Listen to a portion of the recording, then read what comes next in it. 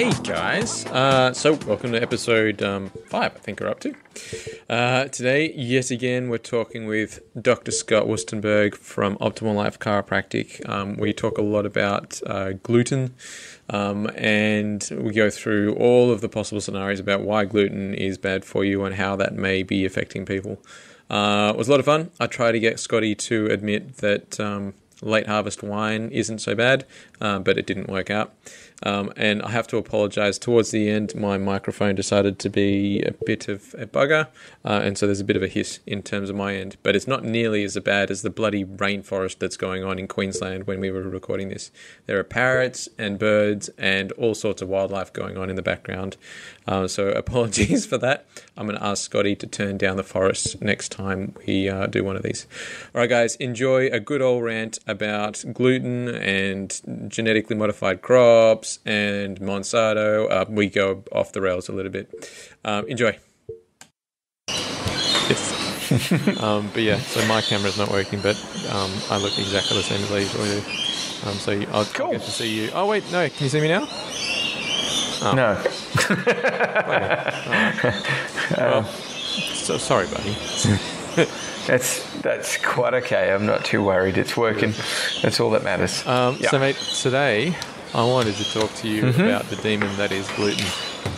Um, Okay. A few thoughts. Um, one thing I wanted to know was, um, as I know sort of personally that, um, you know, I do have a reaction to gluten, um, but I've found that if I am eating gluten in Europe, um, I don't Mm-hmm. respond um, or I don't react um, nearly as much as I do to Australian gluten. So I'm wondering, like, is it the gluten component in the wheat that's causing the reactions, or is it the crap that they're spraying the crop with that I'm reacting to?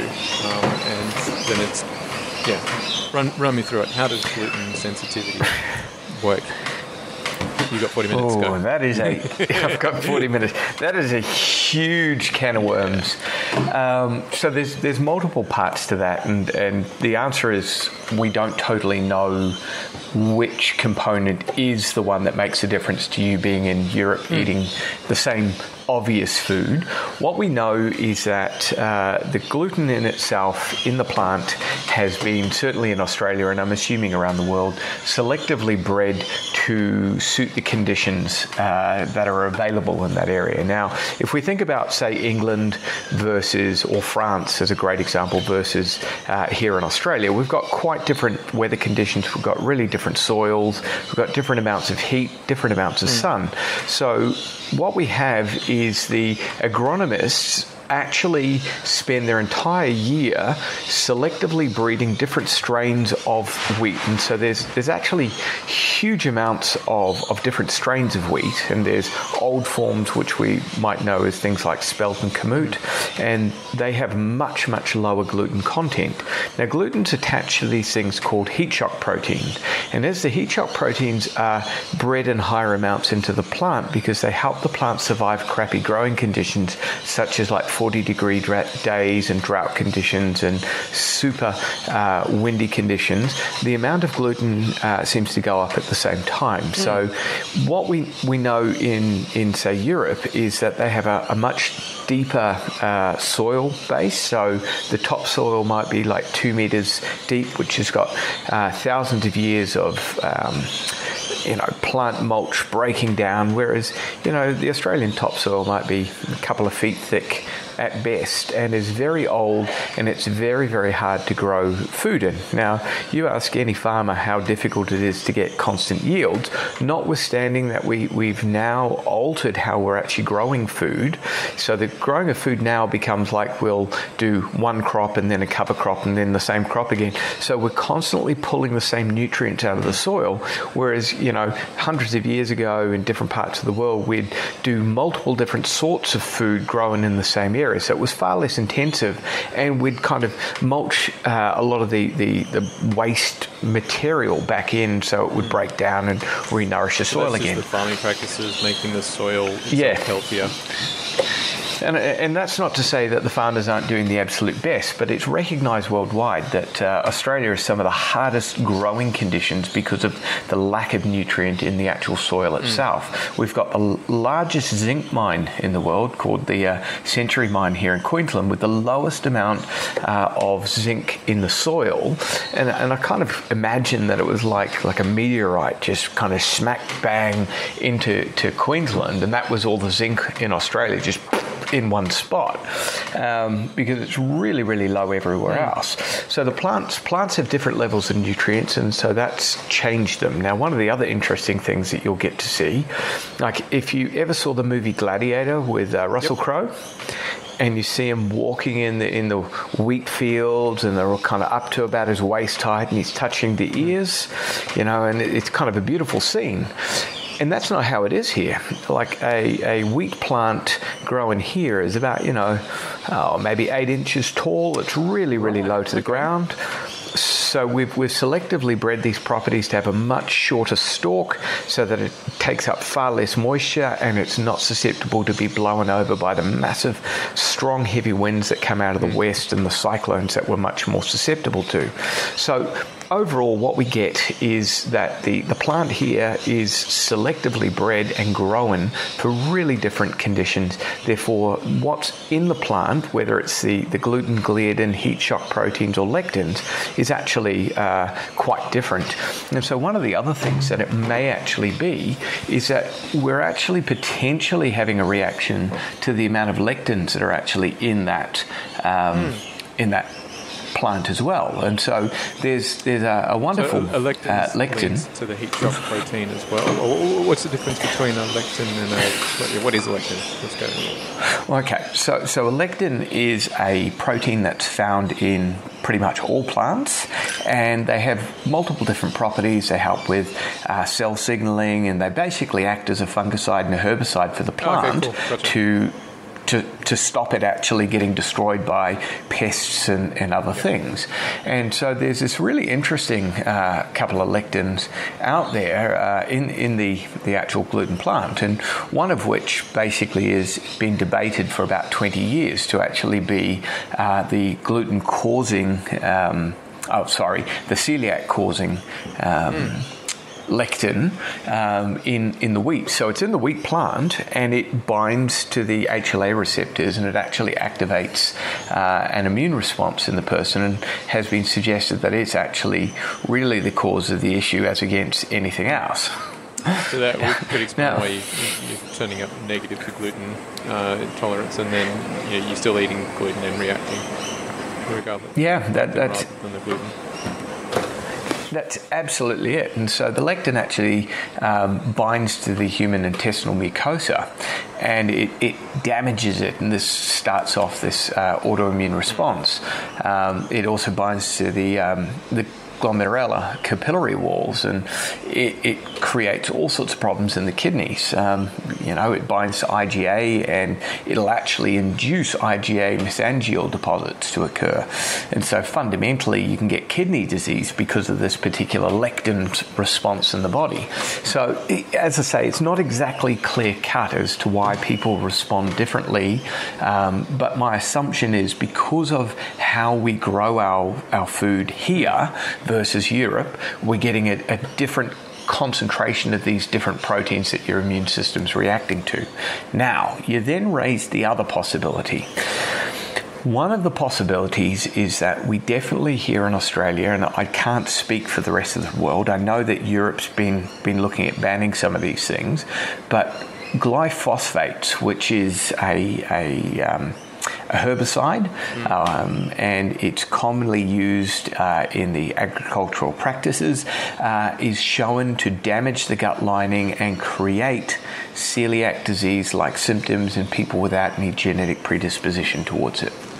So it may be that the volume of uh, glyphosate in food in Europe is quite different to what it is here. So we're not getting that constant damage to our tight junctions, and therefore the immune system is not overactivating, and that's why we don't get as many problems. You read, um, or I've read, you know, you read different things, and you know, depending on which Facebook group you're intending, you're reading, it's either you know agriculture and GMO crops are the things that have saved, you know, the, the famine crisis, um, through to you know GMO crops are the, the devil and they're killing people.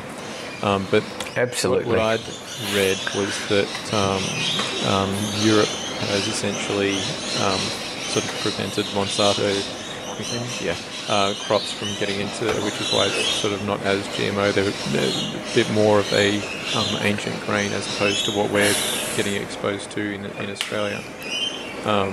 That that definitely seems to be the case. Um, uh, like it, it's not just Monsanto; it's all the, the massive agri companies. They are huge. They control the grain supplies to a large degree. They control the sprays. You know, there might be four major companies that control maybe 70, 80 percent of all the um, the food supply and food crops at that particular moment in time.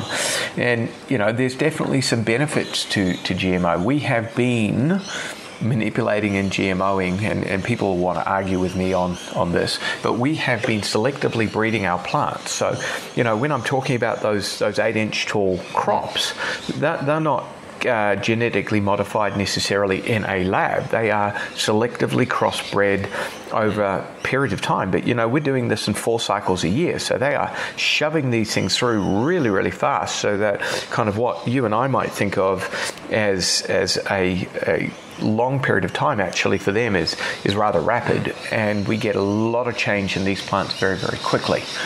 So uh, the the GMO effect is not the devil, uh, but some of the responses because we've altered our plants could cause some serious deleterious effects for human beings and animals as well, because these chemicals have some negative impacts. One of the, the things that they, they do, some of these herbicides, pesticides, will actually block your enzymatic functions, and since all of your body's uh, functions actually rely on enzymes to do things like create energy or otherwise, you know you're in a lot of trouble that way. The pest, pesticides are great because uh, generally um, xenoestrogenic, so they're targeting the female pest of the species and and creating alterations of their ability to actually create offspring. And so, of course, if that's uh, in, in your food because it was sprayed on, it doesn't break down very quickly, and therefore, from that particular point of view, the in food that we're eating may also have a deleterious effect on the females of our species, which might be why, uh, you know, fertility and, and oncology are some of the fastest growing medical practices in the world. Would you expect to see a difference in terms of symptoms from um, like lectin versus gluten sensitivity versus um, uh, like glyphosate issue? Would, would they react differently with the body? The unfortunate thing is, by all appearances, no. If you damage the gut lining from whichever source, whether it's too much alcohol, glyphosate, gluten, uh, you know, chlorine, etc., ultimately what we're doing is, is damaging the gut lining, allowing leaking of undigested proteins and particulate matter to get into the bloodstream activating an immune response, creating swelling and malnourishment. So, pretty much in most of these instances, the actual response is pretty much the same, and it's quite hard to differentiate between them all. You kind of can't go, ah, that's a glyphosate reaction. Now, you can ultimately test for these things, and we can look at uh, like whether the antibodies come from one sort of thing or other. Um, but, you know, I tend to recommend people eat organic and avoid glutens as much as you can and not have too many grains and ferment their, their legumes and beans, etc., so that they're slightly activated and that reduces the lectin content. Is there a way of testing um, for, cause I know like you get your you know, hair analysis test or whatever to see what your heavy metal um, levels are? Is there anything you can do for glyphosate levels? Um, there certainly are tests to, to look at um, chemicals. Um, they're really difficult to manage in the human being because, unlike heavy metals, which have a really big uh, molecular weight and are actually quite uh, kind of easy to find. Um, most of your your chemicals such as glyphosates, etc., are all very, very small molecules and they all tend to like to hide in, in body fat. So they're not very available in the body to actually uh, test unless it's like instantaneous exposure. Mm. But yeah, some of them are actually available. We can do PCB testings and um, xen- different xenoestrogens, but it's not quite so easy as, oh, look, let's test for some lead, or let's, even that's not very easy because the body likes to store that in places like long bones. Okay. Okay, yeah. So it's essentially it's so most unless you're sort of actively burning off the fat that your body's been using as a dumping ground for all of these diseases that's that's pretty much it. And this is kind of one of the reasons why people who've who've become a bit overweight and then go on, you know, I'm changing my diet, I'm doing some energy, I'm I'm burning the fat off, and then they kind of come down sick with lots of symptoms and they don't want to do it anymore because they feel crap because their their, um, their, fat cells are starting to dump all the garbage mm. out, and lo and behold, you feel rubbish because of it. Yeah, I've certainly found that um, if I go through a fasting phase where I'm doing like a, a period of intermittent fasting, I still get that, you know, a couple of days into it bit of reactivity, headaches, that sort of thing, and then say, oh yeah, yeah it, it, it's good because I'm getting stuff out of the crappy fat cells. But then on the other hand, it's like, why do I feel like crap? Uh, That's exactly it. So it's essentially, um, like, would it be fair to say it doesn't really matter what? Um, I suppose a better question would be, so if it's a gluten sensitivity or caused by gluten or lectin or glyphosate, it doesn't really matter because once you get that gut permeability you're going to develop cross reactivity to the other gluten or lectin, or your like your nightshades and all the other high probability uh, allergens. That, that's exactly it. So, um, one of the really interesting things, as you were mentioning, the nightshades there. So, nightshades contain um, lectins in the first mm. place, and so p- potato tomato actually is a um, uh, a lectin containing food. However, one of the really interesting things is that um, a, a, GMO version of the tomato has actually had um, the, the um, uh, a component of latex rubber. So mm. there's this um, chemical called prohevein, which is a lectin, and it's the, the component or number one component of uh, allergy response um, in uh, the latex rubber. So people who put gloves on and they get the um, the reactions, etc. Mm. Now that has been crossbred or GMO put into tomatoes because it acts as a natural fungicide. And so there's a real interesting possibility that people who are actually um, sensitive to the latex rubber are actually developing a uh, tomato allergy simply because of that particular occurrence. And you wouldn't necessarily know that that was occurring because, of course, it doesn't uh, require herbicides or otherwise. It's put in there to stop fungus growing to help give you a better yield. How did, yeah. Um, so, with, um, family, that's, uh, that, that's tomatoes, potatoes, eggplant. What, what else is in there? Uh, potato, tomato, eggplant, capsicum, um, chili to some degree, um, tobacco. There, so do you become um, so you, like okay, so do you become is the lectin um, the same sort of uh, you know, chemically does that molecule look the same regardless like in the nightshade only is it so you reacting to that or is it you start to get inflamed to one part of the nightshade family, and then your body starts to recognize the rest of the nightshade family because it looks somewhat similar. Like how does the cross react? No, no. So the the it depends on what you're actually reacting to. So in the first instance, there's multiple different uh, lectins. There's huge amounts of them, and there's different amounts of lectin per plant. So certain certain foods you'll be uh, will have a higher content of lectin, so you're more likely to react, and others have less lectin. There are toxic lectins and there are non-toxic lectins. Um, so it, it's not really easy to determine any of those things, and so you might eat one type of tomato and it doesn't really cause you any issues. Maybe like an acid-free Roma tomato tomato, and then another one which is full of flavour, etc., it causes you all sorts of gut ache. Like I, I kind of look at them kind of simplistically because lectins have been in our food for, for massive periods of time, and and along with phytates, they tend to be uh, in higher concentration when the plant's fruit, whichever you know, a tomato or an apple or whatever, is not ripe yet. And so it tends to have a really interesting impact on us insofar as if you imagine we were all hunter gatherers umpteen hundred thousand years ago and we're traipsing through the, the, the bushes and we stumble across a tomato plant and we see these mostly kind of greeny red, um, you know, fruit on it and we go, wow, look, food. I haven't eaten for six days and guts ourselves on the thing. And then we traipse on down the forest and we're like a half an hour down the path and suddenly we get diarrhea.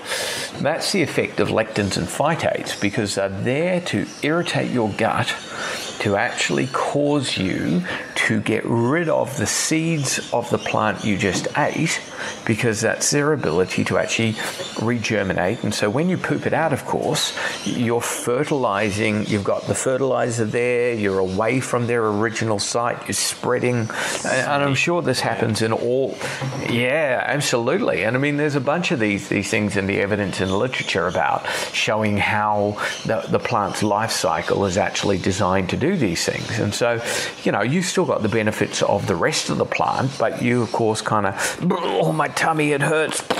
It's also a learning thing because, of course, if you eat it when it's too unripe, it's going to give you a gut ache, and then it's going to teach you not to eat that thing in the future. So you're suggesting that if I am going to drink wine, I should go late harvest wine because lectin component's to. That's that's what you're saying, right? that might be what I'm not saying anyway. some of the.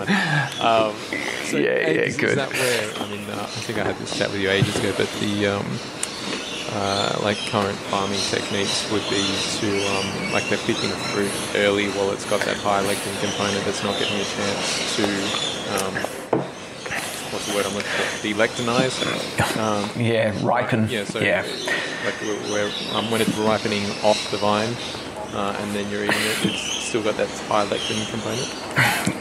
That, that's exactly what it seems. It's both the lectins and the phytates at that moment. And so, again, uh, the unnatural ripening practices don't seem to actually decrease the amount that's in it. Um, and again, as I say, different plants all by themselves will have greater and lesser amounts. So um, I can't kind of. Is, um, is the sort of the lectin or the component of the nightshade family, um, is it similar to gluten in where that we've added the heat shock protein, which is up to the um, sort of you know gram for gram um, amounts of gluten per plant? Is, has it been a similar thing with um, modifying nightshades? Are they more lectiny? um, that's a, that's an interesting question. Uh, firstly, we haven't added the heat shock proteins. The heat shock proteins are always there. We've just concentrated them more because of selective breeding okay. patterns. Yeah. Two, um, I suspect that's the case with the other things like um, potato, tomato. I haven't actually looked at it because it's not, they don't come up as big as a problem for me in my patient base as things like gluten and dairy products do. So, dairy products have lectins in them as well. Have you ever um, had you someone know, who is just purely nightshade sensitive and not gluten or dairy sensitive? Like it seems that if you've got one, you're almost bound to have gluten and dairy sensitivity. Um, I haven't had anyone who, uh, no, I've had two patients who gluten and dairy weren't their problems whatsoever. One of them had like 27 allergies and the other had over 50. So, you know, I, was, I wasn't winning on that one particularly easily. However, um, basically, what I, I, see, I think, partially because of our Western diet now that's become so very concentrated to such a small amount of foods, um, the the volume of irritation from potato, tomato, you know, kids eat tomato sauce, eat tomato on everything. Uh, potato is in everything, you know, whether it's as a starch blended up into some packet food or potato chips, potato fries, potato cakes, you know, it's everywhere. So, certain foods, I think we're having such a concentration of these things going in that the immune system's getting beat up by it. And we're also getting, as I, I mentioned earlier and alluded to, chlorine is a really good antibacterial. And so it does a great job when it's added to our municipal supply of killing off bacteria. Unfortunately, the bacteria that it kills off is not the stuff only in the pipe before it gets to your stomach. It, it's like, you know, you pour, turn the tap on and pour it in your glass and you drink it down, and there's still chlorine in it. And that chlorine will also kill your gut bacteria, and further, it will actually damage the tight junctions between your, your mucosal cells and allow leaking to occur at the same point in time. Now, that sets you up for a whole bunch of problems. And, you know, there's a bunch of other situations we could talk about, like uh, antibiotics. Absolute godsend, save thousands and thousands of lives, but excessive use of these things where perhaps the person might have had a viral infection and didn't need an antibiotic has set some people up for a whole lot of leaky gut and killed off their good bacteria, making them a lot more dysregulated and pro inflammatory at that moment in time. So, again, antibiotics are great, don't let me say anything bad about them. It's just that we've set up, I think, because of perhaps inappropriate use previously situations that aren't quite so good for us. So it, it's not always just purely the lectin's fault or the food's fault or wheat's fault, etc. There are a whole bunch of combinations of our lifestyle things that are adding up into this. Food, food just being a lot more available um, now compared to years ago. yeah, well, I mean, when you kind of think about it, go back 200 years ago, your intermittent fasting was a way of life.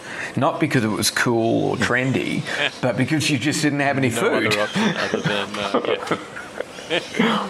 um, the, uh, the, so, uh, to, a few thoughts on that. So, um, with the addition of chlorine into the, the water supply, um, is that in high enough levels to cause dramas in and of itself, or is it only once we start to knock the guts around with things like gluten and dairy that it's got these, or lectin, um, the, the chlorine then starts to become a factor?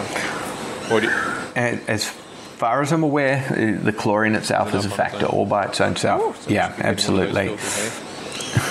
Well, that's my recommendation. Um, you know, the, the municipalities will tell us that it's a perfectly safe amount, and, and my answer is it, it probably is because we use this thing called an LD50, and the dose that we're using is not enough to kill us. You know, by itself, it will not Did I kill read you. somewhere that, So- um, sorry jump in, mate, um, That's okay. fluoride is a neurotoxin? Yeah, yeah, it is. Um, oh, you know, that that's kind of a, a big can of worms all of its own self. By itself, fluoride is a mineral and it has some positive impacts on human health. The sort of stuff that we're necessarily putting into the uh, the water supply, which is you know sodium fluorosilicate, has been shown to be a class five toxin. Uh, it's been kind of lauded to be a byproduct of aluminium smeltering. However, fundamentally, it's in an ionic form that doesn't actually do particularly well for the human body. Um, and there's a bunch of stuff that shows that it actually decreases iodine in the system and it can cause cretinism when it um, outstrips the iodine supply and it dam- damages a whole bunch of stuff. So, you know, there's some supposed benefits. Um, there's not really, regardless of, of what we're all told, particularly strong evidence to actually show that it, it helps uh, adult teeth not have dental cavities. The suggestion that it stops dental cavities is kind of relatively okay when you look at the evidence in those under the age of 13, but when you've got adult dentition, it doesn't seem to make any positive outcome on your enamel. Now, we're all told that it's, it's doing wonderful things, but you're not really seeing too many case controlled, placebo double blinded, and yeah, it definitely has some negative impacts. You see, people with uh, certain types of spotting, white, yellow mottling on their teeth. That's called fluorosis. And the fluorosis is that they kind of absorbed it but couldn't use it properly. And so they actually have a weakening of their enamel. And you'll see patients out there like that. Is this going to be one of those Hmm. things where, um, sort of like where they went back and said um, fats are the cause of cholesterol back in the 40s or whatever it was, and they, they went back to find the Yeah. original thing, and it turned out to be a, an opinion piece in an editorial rather than any actual Oh. um, research. Is it going to come back to, you know, the reason why we're putting fluoride in the water was a editorial opinion piece that was written back in the 1920s. No, it's much, much worse than that. And it depends on how big a case of worms you actually want to open on that one. full Um, theory. Uh, because, I, I do, I do like a good, good rant, but if, if we're going to start Yeah. into, hey, the uh, the moon moon landing was a hoax. no, no, no, no. We're not looking at anything like that. So there's there's just really, really good evidence to show where it was actually coming from, and, and the research was actually uh, largely funded by the. Um, US Defense uh, Department as there was a huge amount of uh, fluoride used to actually develop the uh, atomic bombs in, in the 40s. And of course, the um, staff were exposed to huge amounts of these um, chemicals, which were, of course, in a potentially neurotoxic and damaging effect uh, and structure. And so it was interesting that the, um, they had scientists start publishing papers, and when you go back through the literature, it, it's shown um, where they actually came out with the information on because it headed off all the lawsuits. They actually um, were running tests on, on populations of people, exposing them to the amounts of fluoride and waiting to see uh, what the negative end products were. And so this is all in the declassified uh, information from you know the late 40s, early 50s, and going on. And they you know continued to do stuff like dropping or, or exploding atom bombs on atolls in the South Pacific and moving uh, the Polynesians around, and then you know having them in in hellish conditions because of that. Um, so yeah, unfortunately, the published literature uh, shows that there is a positive impact. Is is basically founded on extremely dubious uh, original information. But the issue that we have is that when you have a published paper, as perhaps you could could suggest, maybe claimed as paid for to get into a high quality um, publication, so you buy off the right um, level of, of uh, researcher, um, and the the person researching has been shown to be a paid employee of the uh, US Department of uh, Defense. So his work then gets published, and then other people come along and say, "Oh, well, that was that was good peer-reviewed published data," and, and, it just grows. And so, when you actually have a lie that um, gets said often enough, it's not actually the truth, but it's taken as truth. And so, we've continued over the last kind of sixty odd years the same statement without anyone going back and, and relooking at it. Now, the issue with that is that, of course, uh, there are some positive um, information to say that uh, that fluoride is is good for you, but it, it's in a, a, very different ionic structure and in very, very different amounts. I mean, fluoride again is an antibacterial and is shown to kind of terminate your thyroid. And we have kind of one in three women in Australia with a hypothyroidic condition. Yeah, um, you know, it, it's not not one in three. You know, that's that's the current. Look how many people have morbid obesity out there. It's it's just massive. Yeah, so um, you know we're contributing with that. We've also removed the. We used to put iodine in the vats to wash out the milk vats many many years ago, and we stopped doing that because chlorine's cheaper. So you put chlorine in the vat, which knocks out iodine. You remove the iodine, you have a low iodine supply in soil and diet, and you have the addition of fluoride to the water supply. And given enough time, you get a whole bunch of issues coming out with that. But we're in a situation, of course, that uh, the the dental uh, powers that be have um, been kind of worked into a corner. You know, they can't very well, and neither can the health department, turn around and say, look, I'm, I'm very sorry, you know, actually this stuff is highly toxic. Um, yeah, don't use that stuff. Big, big machine to turn um, around. Well, it, it is, and there'll be lawsuits. And so what we have is we just kind of don't really say that it's it's amazingly beneficial. You're not actually really seeing anyone saying this actually stops cavities. We just um, kind of assumed statements about it, and it's implied in the statement. And if you look really closely, no one's really pointing out or, or bringing evidence to actually show that it, it's making a difference. Like it's, it's Queensland recently yeah. Now, in in recent times, Queensland's gone on and, and, put it in the water supply, and you know we're not seeing evidence that it's actually stopping all the dentition problems that we have here in Queensland. Further to that, they've actually started to withdraw it from municipalities in Europe. It's it's banned from going in the water supply because it's been shown to be a problem. Time so, to Europe. Well, you know, in some ways, I don't want the weather, no, but, um, the the well, you know, some of that's the prices we pay because you know you can't have everything you want, and um, if you want greater health, it's going to cost you, and they're a bit more prepared to make some of those uh, choices and sacrifices than we are uh, here at this moment, which I think is a bit of a shame. Remember, um, did, did you ever see a TV show called uh, The Bomb? Um, it was on like AMC probably like a year or two ago, but anyway, it was it was basically um, um, sort of following the scientists that developed the bomb out in the middle of um, the desert, wherever it was in the states. Oh, Um, right, But yeah. it, it was um, like I, you know, I don't know how factually accurate it was, but um, uh, it, it was kind of funny because watching it and they um, essentially had no idea how bad or good or whatever radiation was for everyone. Um, and it was only when like one of the main scientists' wife, who was a botanist, started to spot like all of these weird things happening to sterility for all of the um, you know locals, and that there were you know plants growing in the area that were sort of abnormal and shouldn't be doing this thing. And then I was like, oh yeah, so you know that big old bomb that you're building, kind of toxic for us all. We should be having a few more. Like it's just you know, and they went on for years and years and years and years without any protection Yeah. because they didn't know, hey, this stuff's bad for you. Um, but it's kind of Yeah. weird to think like you know this isn't you know it's not that long ago uh, that we're still No. figuring out this sort of shit. Uh, see, uh, I'd say that one is is a um, a romanticization of the truth. Yeah, yeah, absolutely. I, I think the um, the data on that one's been pretty pretty aware for some. I mean, we've had X-ray. The the, the wife of the guy who who developed X-ray died of cancer from it. You know, we've known that that radiation of all sorts has been toxic for a fair while.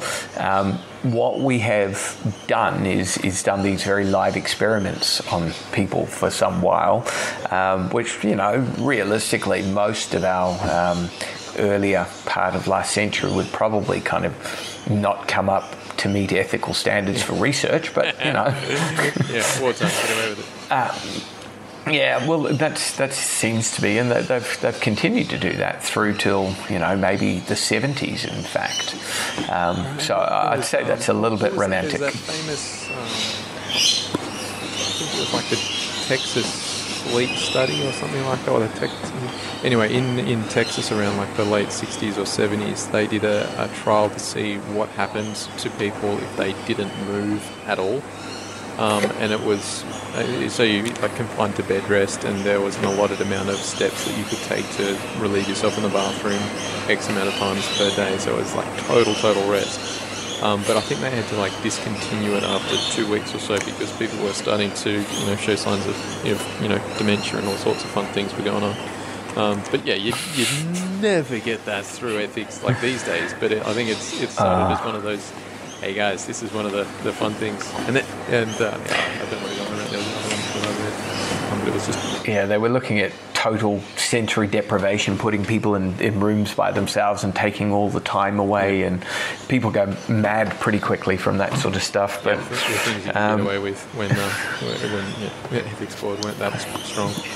Um, Well, that's it, and that's kind of one of the reasons. If we kind of think on it, like as we were talking before, I think what we've alluded to is that uh, it, it's not just the food. There's all these things like the fluoride. There's the uh, antibiotics, the chlorine, the glyphosates. The they all kind of amount to why uh, yours and my generation and those following are that much less capable of dealing. Let alone the fact that the, the food itself has been more processed. There's more acellular, more uh, gluey sorts of high sugar. Um, product in, in our, our diets. I, I don't know that um, it's actually that significantly different per wheat, so to speak. I just think that there's a whole bunch of other factors. Um, you know, we actually grow our food in a very sterile environment these days. And the interesting thing with that is that the, the antioxidants are actually created in the plant when it's under stress. So if you create an environment that takes all the stress away from the plant, whether it's in a, a hothouse or whether it's in a, um, you know, how we crossbreed these things, it doesn't make a lot of nutrients in it. So when we eat the food, we don't get the nutrients we require to actually make all our systems work. Therefore, when stress hits us, we get more reactions. One of the things I, um, I came across um, it, it was looking at sort of the one of the later generations of um, GMO wheat crops, where that there were, um, you know, instead of spraying the crops with glyphosates and that sort of thing, they were putting that in the know, genetic code of the plant so that wheat essentially built its own glyphosate, so you didn't have to spray. Um, and I was thinking, well, that's great because then you're, you know, you're very much eating the glyphosate. But then uh, I was thinking, like, if you didn't have to spray as often, would that not be more beneficial for the soil? You're not killing off the extra bugs? It, it's, it's a really interesting thought process, and it, it, kind of like I like that uh, as a concept, except for the fact that if you've got a chemical in there that is known to have a negative impact internally, then you really can't eat the chemical in the plant anyway. Yeah, because it's one of those trying to see the other side of it. You imagine, oh, let's, let's put poison in the food. That, that seems like a good idea. The kicker to it is is that it's not really wonderfully well shown that spraying lots uh, is actually creating more yield and better outcomes for uh, farmers anyway. What we found is that having a monoculture, so having a intensive crop on a farm that does nothing but that is actually really bad for the soil, bad for the environment, and that you actually need to have uh, different sorts of plants kind of growing together because they all have um, anti pest, antifungal kind of properties that they all lend to each other. It's actually quite symbiotic. And when you have kind of more um, mechanically based uh, traditional farming practices like tilling the soil by hand and kind of pulling up the weeds by hand, we actually get pretty well the same uh, outcomes. Now, I know that if you've got you know a, a 50,000 hectare farm, that, that doing that by hand is really a likely impossibility, and that's really what this comes down to: is that it's big business agri farming that's driving the necessity to actually um, alter the pesticides, alter the herbicides because you just can't physically manage it, um, and therefore, you know, food supply and health is actually at the uh, at the mercy of commerce and politics, and that's really what the problem is. Just to jump back about 20 minutes in the conversation, so you're mentioning that um, like antibiotics and the depopulation of good, but, uh, good gut um, bugs. Yep. Um, one of the things that I, um, you know, hear from my patients is that uh, you know, like, okay, you've done antibiotics, we need to repopulate your, your gut, so, so let's get on the, uh, the probiotics. Um, but uh, people are sort of thinking that if you took probiotics at the same time as the antibiotics, that there was sort of nil or no benefit from doing that. Um, but I, I, I, was listening to a podcast um, with uh, Dr. Rhonda Patrick, and she was sort of suggesting that um, uh, it is actually beneficial. Uh, beneficial. Um, that taking probiotics during the course of antibiotics um, could be beneficial in that sort of you know, jumping the gun to repopulate your gut. What, what are your thoughts on that? Um, well, realistically, what's going to occur is that the um, antibiotics may uh, kill off the probiotics at the same time, but the benefit of the uh, the probiotics rather is more to do with the uh, combined regulatory effect. So, probiotics aren't really very good at colonizing, so they're not not there to actually uh, make a big new colony. They're not shown to do that at all well.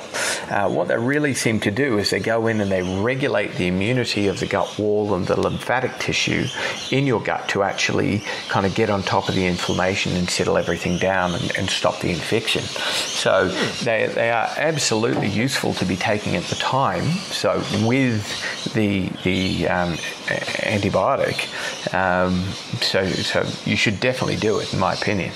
Yeah, that's interesting. I, um, you, know, I didn't even know that that. So it's more on. Yeah. Okay. There you go. That's cool.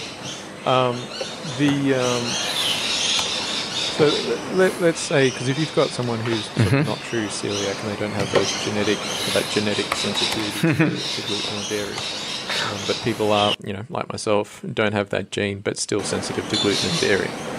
Um, I kind of know what you're going to say. I'm going to ask you anyway. Um, what what sort of time? So, like, let's say we were super strict and we were doing all of the. Um, um, well, yeah. What, what, sort of routine would you recommend for someone to, um, other than getting rid of gluten and dairy? How would you de-inflame your gut? Uh, sort of, what's the quick and dirty way of, of doing it? Uh, and then, um, what sort of time frame would you need to stay away from that before you started to say, you know, hey, let's try that gluten and dairy again? Um, okay, so that, that's a really interesting concept. Uh, obviously, my first starting point is take away the irritants, whether it's gluten, dairy, uh, you know, soy. Um, we, we decrease things like chlorine, uh, fluoride, etc. from the water supplies. I would use some um, glutamine and glycine to start trying to um, soften out the gut lining and decrease the, the lymphatic irritation. I'm using uh, a product called Restore, which is a lignite formulation to actually help heal up the tight junctions with that as well. Um, we might use probiotics like. Can you just um, Yep. the difference between Restore and the glutamate glycine? Uh, the glutamine glycine are pure amino acids, um, and so they have very specific purposes. Some of which is to help make um, glutathione, which soaks up oxidative stress. Uh, glutamine itself is shown to actually help stiffen up and, and heal the um, villi in the uh, gut lining itself. Glycine is a, um, a neurotransmitter that helps calm uh, muscles uh, and, and inhibit muscle action, so it can decrease gut muscle spasm at that moment in time and helps modulate the NMDA receptor. Uh, you know, they can do a whole bunch of different things, and I find when they work together, we actually get better results for the gut lining itself. Um, Glutamine itself helps recycle glutamic acid, and this is a wonderfully popular misconception everyone has that, oh, uh, you know, glutamine helps make uh, glutamic acid excitatory neurotoxin, it's going to cause problems. Well, that's not the case. You actually require enough free glutamine to actually help recycle the glutamic acid to actually reuse it in your neurotransmitters and keep everything working properly. Um, so, uh, And then, and then the Restore is um, essentially more focused on healing up tight junctions. Um, well, yeah, absolutely. Um, that's that's um, uh, what it's used for. So it's shown to actually protect by about seventy-ish percent from the damaging effects of things like glyphosates and gluten gliadin uh, in experiments. So it's one of the reasons why I use it because the evidence is clear that it absolutely can have that positive impact. My personal evidence in my own use is that it definitely has an impact. So you know those are things that I'd put in there if we're suspicious of you know like stomach acid um, reduction. We might use a uh, betaine hydrochloride um, supplement, or we might use um, you know cider vinegars or lemon juice before meals to try and pep things up. I might also use digestive enzyme to support that uh, function. We might use something like Saccharomyces boulardii or otherwise. Sometimes we'll run uh, a fecal sample, which will tell us a bit more about what's happening, whether they've got zonulin in there that might be showing that they're having interesting leaky guts, or whether you know that they're having uh, a too little IgA, or you know, do they have protein digestion going on? Are they malabsorbing fats? And we can get a lot of information from that sort of test, but that's a, a whole topic all of its own self. Um, and and we'll kind of look at, at how that gut situation is going. Now, the other thing I kind of like to do, and I, I probably differ from a lot of uh, you know nutrition medicine practitioners, is that if you haven't looked at the patient's uh, neurocognitive stress response, it doesn't really matter what you're doing at the gut. If you haven't got that vagus nerve under control and calm down that midbrain, they're going to keep winding and creating stress that keeps damaging things because cor- cortisol release alone is shown to damage the tight junction and cause leaking. So you've got to get that brain calmed down, and this is where people like you come in. Uh, and, and absolutely imperative it is to actually get that brain working in the right direction for its own harmony. Now, I know that there's a big link, and, and everyone talks about the gut brain axis, and, and if you're not doing the, and that's absolutely the case. You need to be looking at both at the same time, but you know, too many practitioners are going, oh, look, I gave you the probiotic, here's your thing, let's, oh, it's great, and they're missing that brain. All gut, no brain. Correct. So that's that's kind of the big difference. I think that's really important to note for your listeners. Yeah, absolutely. Um, and so, what sort of a so let, let's say we did the appropriate brain rehabilitation, vagus nerve stimulation, get that autonomic nervous system behaving itself, doing what it wants, um, uh, and the the appropriate um, supplementation to calm down any, any gut irritation. Um, what's the sort of immune memory um, for gluten sensitivity, dairy sensitivity? This this is where it sucks. So you can expect to see good results in like six weeks, six to twelve weeks, depending on which thing you're actually dealing with. But if you've got full on antibodies made, you know it's it's eighteen months to clear the liver, uh, the kidneys rather, and up to three years before you're back to baseline. Um, so every time you spike yourself with another cross contamination, your levels go back up again, and then it takes a while to go back down. Now, the further away from it you get, the less reactive you become, uh, and you slowly and steadily heal. But it's a lot longer than everyone thinks. You know, I, I was in there myself back in the day. I would go off gluten and dairy for a month, and I was probably not very kind of clean about it as well, and I'd go back on and I'd feel no difference. So I'd go, oh look, I've got no problem. But Back to normal. yeah, it, it's it's a month just isn't enough for the average person. Like for extreme responders, you might see a difference and feel better in a week or two weeks, but that's not the same as healing and getting everything glued up. Because again, your gut is a two steps forward, one step backwards situation. Always, you can't take a break from your gut. You always have to keep sticking food in.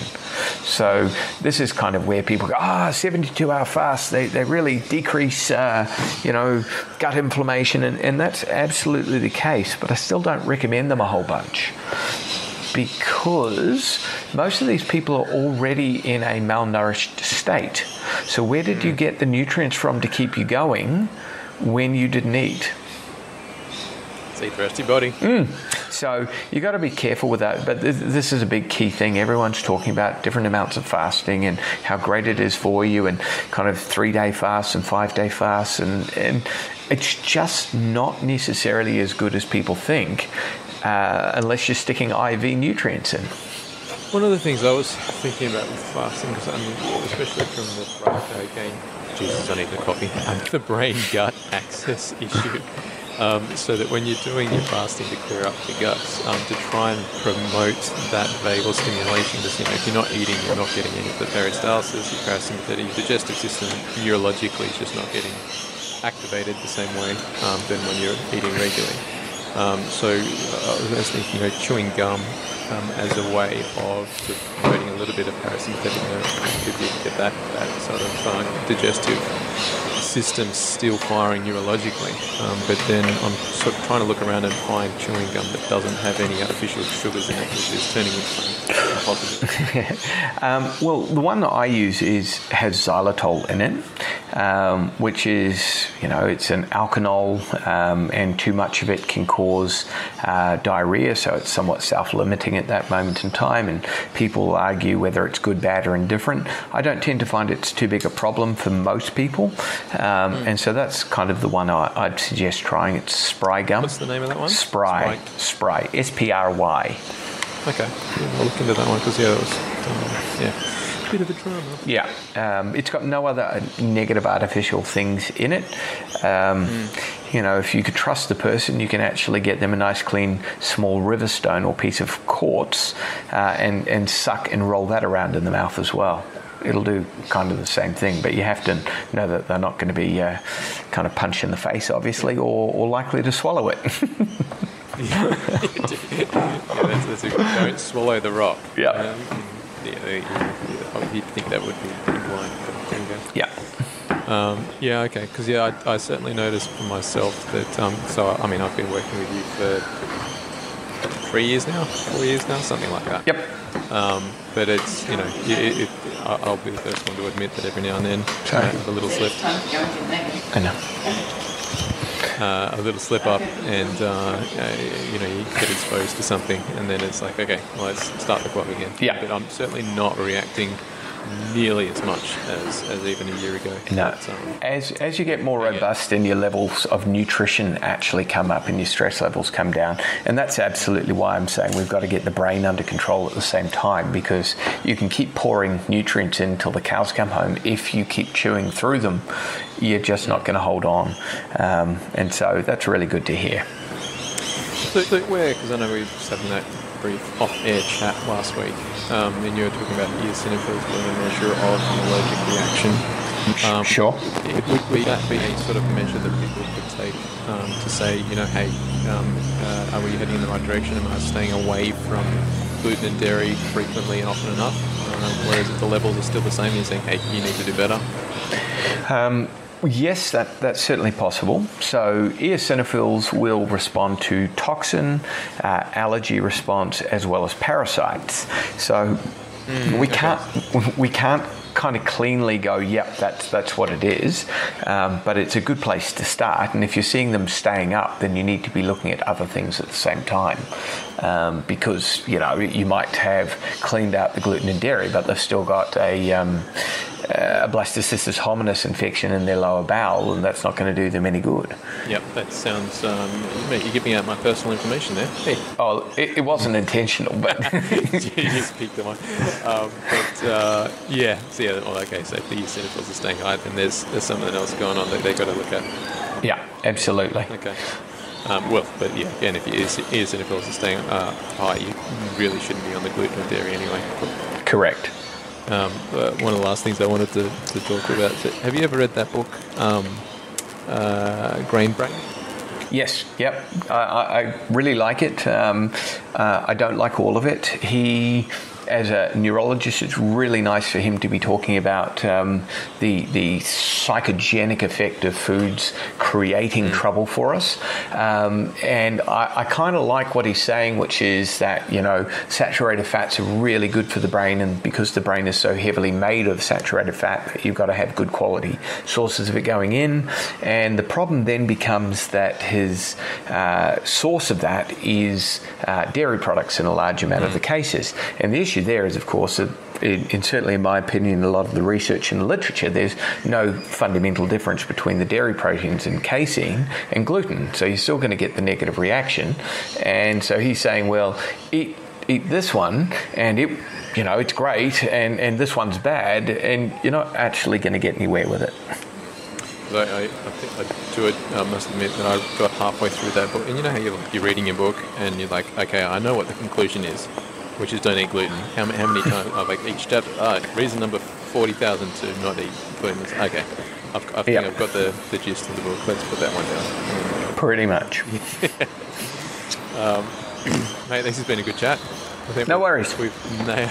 we, we, we've rambled, but we've, we've nailed that gluten sensitivity issue.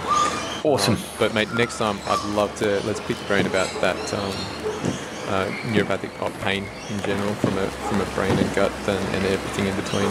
Uh, point cool. Um, no trouble. I think that'd be a great thing to talk about. Awesome. Any final thoughts? Uh, well, don't eat gluten. you, would hope by the end of this people would be, uh, yeah, okay, maybe oh. I really shouldn't be um, showering down on this.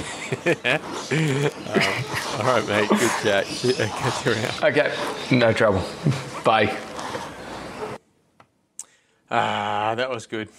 Guys, as always, if you've got any questions at all, feel free to email me at eric at brainandbodyhealth.com.au or you can give me a holler at Brain and Body Health on 9817-6611 with the area code 02. Uh, if you want to chat to Scotty, Scotty can be found uh, on, or he can be called on 07 3371 and his clinic's name is Optimal Life Chiropractic. So if you Google that, you're going to see heaps. Um, look, that was a good talk on gluten. I hope we all understand the perils, and if it is something that's bothering you, stay away from gluten. Um, uh, I'm going to try and do what I can to get rid of some of those bloody parrots. Um, but uh, uh, yeah, again, apologies, guys. We'll turn down the forest next time. Thank you for watching. To learn more from Dr. Scott, visit our site at optihuman.com.au.